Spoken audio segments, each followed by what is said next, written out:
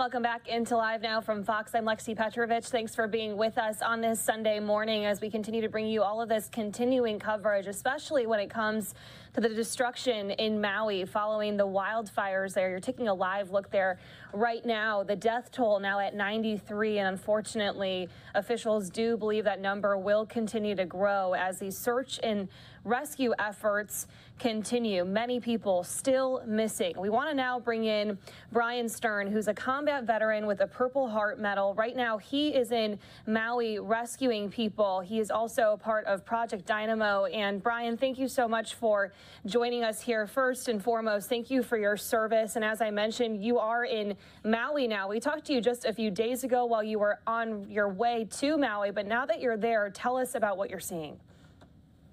Uh, my team and I have been operating on the ground here uh, for a few days already. I think we're on day three or four, I think. Uh, it all blurs together.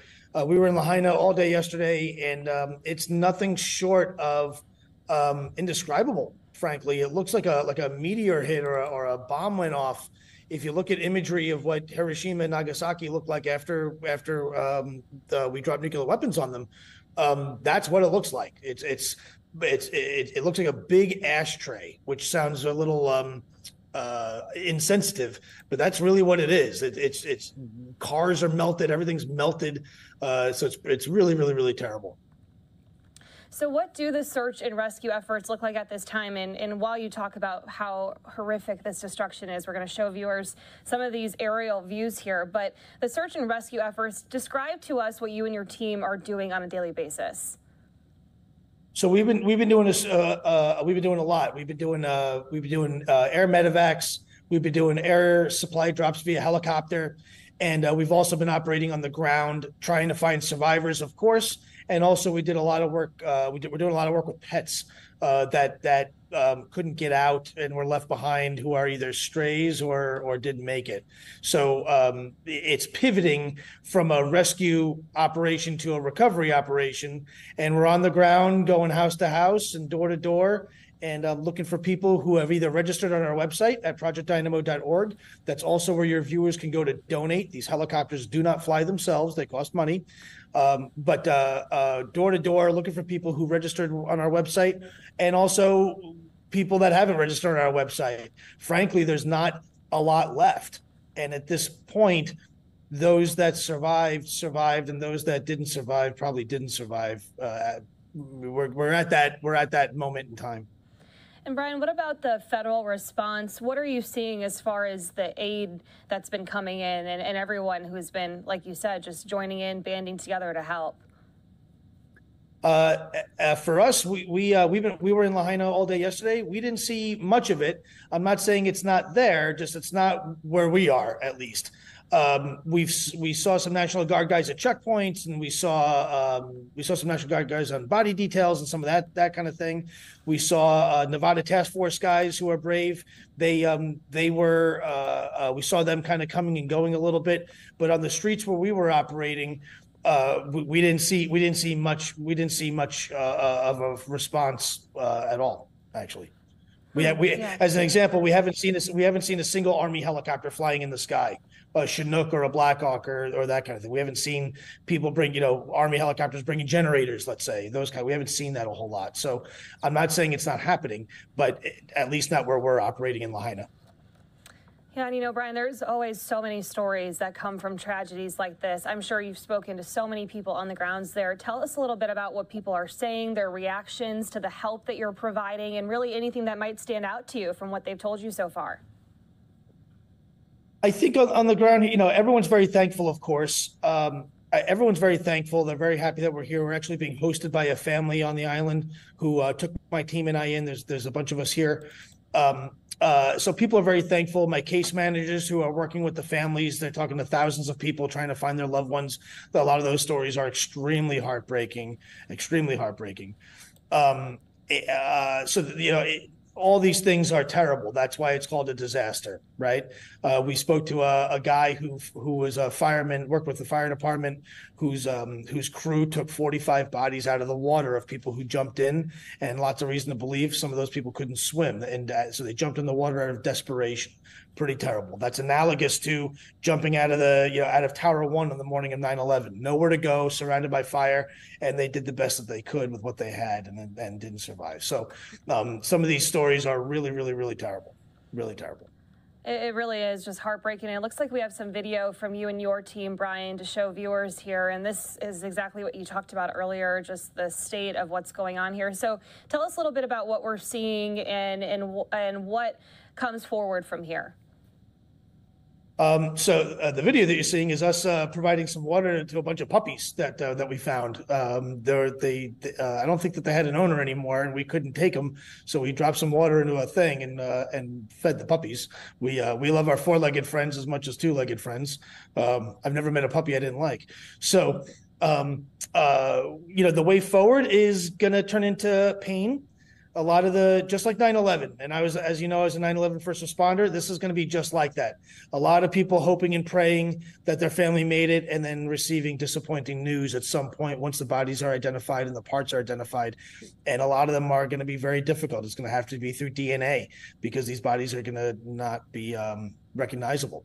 So that process is going to be absolutely terrible absolutely terrible. It's going to look like 9/11, and then it turns into a big cleanup. A uh, big cleanup. There's not, um, sadly, there's not much to. There's not much left, so it can it can be cleaned up in mass. Uh, whole blocks don't exist anymore, other than the concrete slab. So it's really just a big bulldozer operation, and then uh, and then hazardous waste, which is terrible. You know, it's a very it's a big shame. This is a very beautiful part of the world.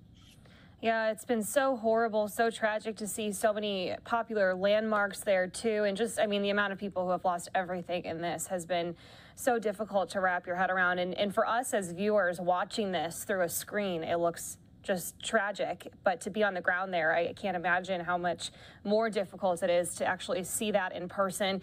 And Bryan, you've done so much work internationally, helping people, going to all of these different places to provide assistance. Tell us a little bit about what stands out to you in particular about Maui and the recovery operations there.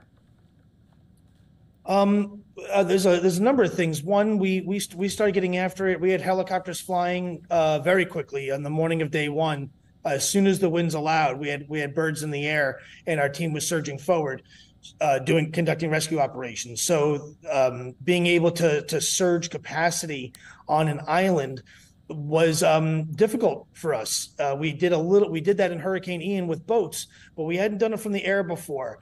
Uh, I've been doing a lot of talking on uh, different venues about Taiwan, and in my mind, Ohana Safe, which is what we call the Maui operation this is a perfect dress rehearsal for Taiwan.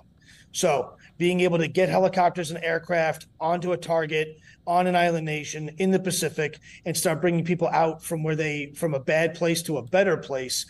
Uh, being able to do that uh, was a huge challenge for my team, huge challenge. But being able to be, but being able to show that it was possible, gives us light at the end of the tunnel for things like Taiwan. With respect to Maui specifically, you know, it's tough because it's America. You know, the, the, this is a, a, U.S. state, Hawaii, um, but the the but the people here are are Hawaiian. So you know, it, there's there's cultural nuances here that we didn't really understand for a little bit, and um, some good, some bad. But those cultural nuances, the good parts of those cultural nuances, we were able to observe firsthand, and that was really, really, really touching in this in this really terrible time, really terrible. It, really is, and it's such a long road to recovery too as we think ahead. So moving forward, Bryan, how much longer do you plan to be there? Do you anticipate Project Dynamo will be there? And uh, also, just because there's been so much that we've been discussing here, if you could have viewers take one thing away from them from this conversation to keep with them, what would you want that to be? The big thing that I, and uh, again, um, I say this all the time, is that the nonprofit world, the NGO world, and the private sector will always outperform government every single time. Um, we we haven't seen Army helicopters in the air, and we've done many, many, many, many air operations in just a few short days. That doesn't mean that they're not here, But, but I would argue that, that um, the private sector and nonprofits like Project Dynamo, where we are entirely donor funded on a shoestring budget, can still outpace and outperform most, most, most of government, certainly with respect to bureaucracy. So as far as being able to save lives quickly, efficiently, by any means necessary, doing what needs to do, we are not political, we're not politicians, we're not Republicans, we're not Democrats, we're Americans, that's it. Being able to ha- take that approach to, to saving lives is a, is a, is a, is always gonna outpace uh, the public sector, for sure. Um, that's the big one. So projectdynamo.org, our shoestring budget needs your help um, uh, um, uh, as far as the way ahead and how long we're going to stay, I think we're going to start winding down operations here real soon. We're going to do a couple of missions today, but but honestly, we you know we're we're coming into uh, we're coming into a point in this timeline where survivors. Uh, this won't. This is going to pivot from rescue to recovery, which is very sad. Uh, and the humanitarian aid part uh, that'll that'll continue. That'll still need to be, and as federal resources show up, that'll sort itself out as well. So I'm I'm hopeful for the future, but at the same time, it's going to be very, very, very, very painful. I certainly expect that body count to hit in the in the high triple digits, maybe even touch a thousand, maybe, maybe. Wow. Yeah, and that's and that's the fear right now as this number continues to climb. We keep hearing that it's likely going to keep rising and I mean 93 in itself is hard is a hard number to grasp. So to think about it growing is, is really unimaginable. Um, Bryan, thank you so much for joining us here. Thank you for the work that you and your team are doing during this incredibly difficult time and, and for joining us to tell us about it. Thank you so much. I appreciate it. We need your help. Thank you for having me.